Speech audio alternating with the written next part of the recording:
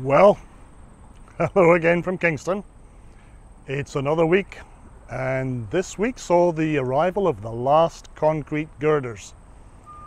That doesn't mean that things are done, it just means we've entered a new phase. Let's go and see.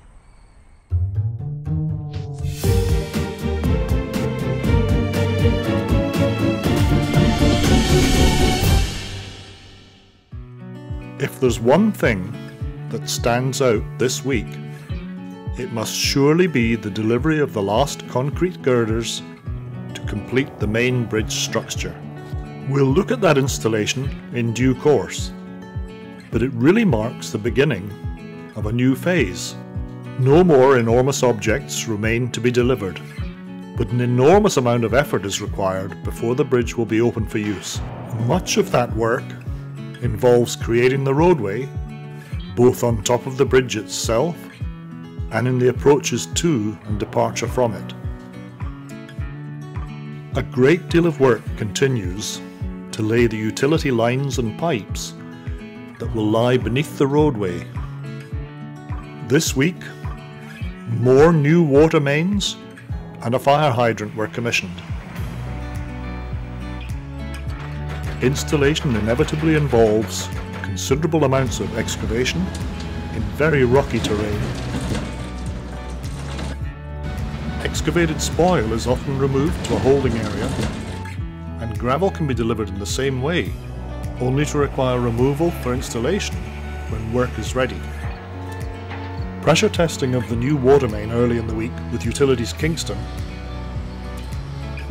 led to excavation on Friday the connection of the final piping and testing by Utilities Kingston of the hydrant itself, all resulting very satisfactorily in commissioning. Of course, there remains a great deal of work to be done. The steady stream of deliveries, concrete vaults and pipes illustrate this very well.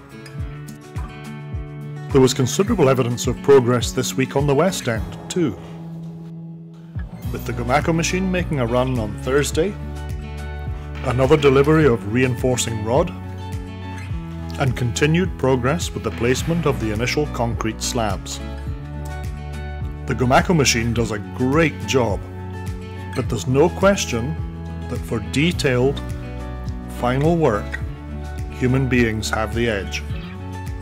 In a similar way, although the cranes do a great job of lifting reinforcing rod, at the end of the day, it's humans who generally move it around.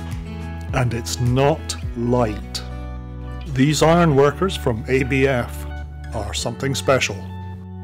Further west along the bridge, excavation is again underway around Pier 16. All part of the work that will continue for some time and result eventually in the complete removal of the temporary causeway.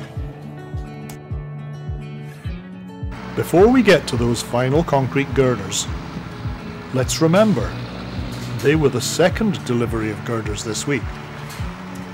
On Monday afternoon, girders 91 to 93 followed the familiar route.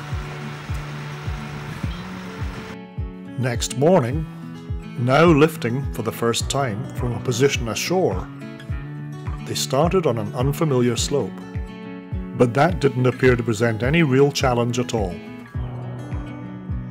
The only possible frustration arose when the Decast team suffered what you could call a wedgie. That aside, it was a bit of a walk in the park, with girder 93 easing accurately into place at either end by 10.30. Next morning, braces for the girders were already being lifted into place.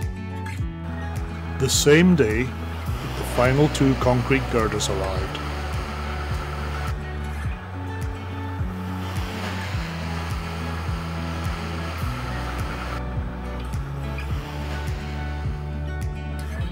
With very little delay, they made their way across the causeway to the east end.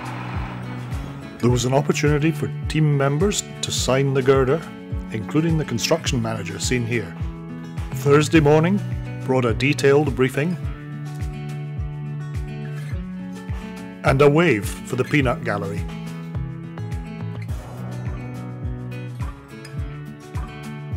Then it was all about hooks on to number 94. And we're off to the races.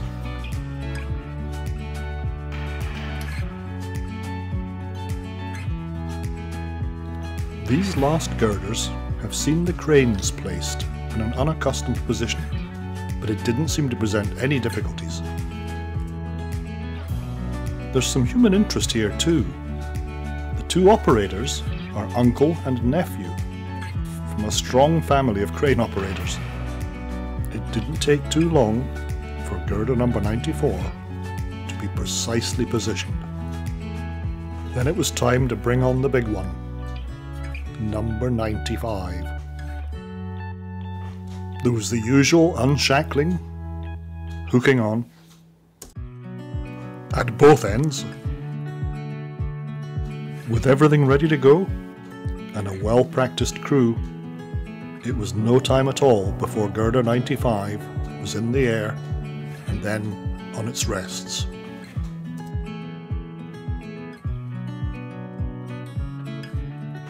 But we haven't seen the last of the Decast drivers. On Friday morning, the first of the concrete slabs that will top the steel structure arrived, and there'll be many more, some delivered by familiar faces. Before we close with some wildlife, let's have a look at that completed bridge. I think it's safe to say the boys and girls done good.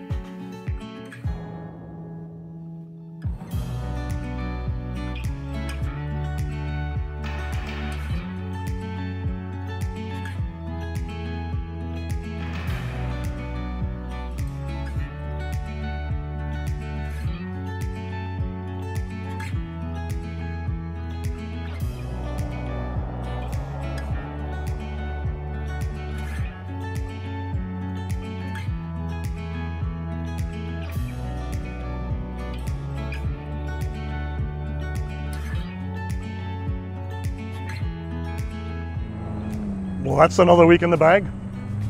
Thanks for watching. And I've got a favour to ask of you. I meet a lot of people who say they haven't seen these videos. So if you've got friends who are interested in the crossing and they haven't seen them, please tip them off to the channel. Thank you.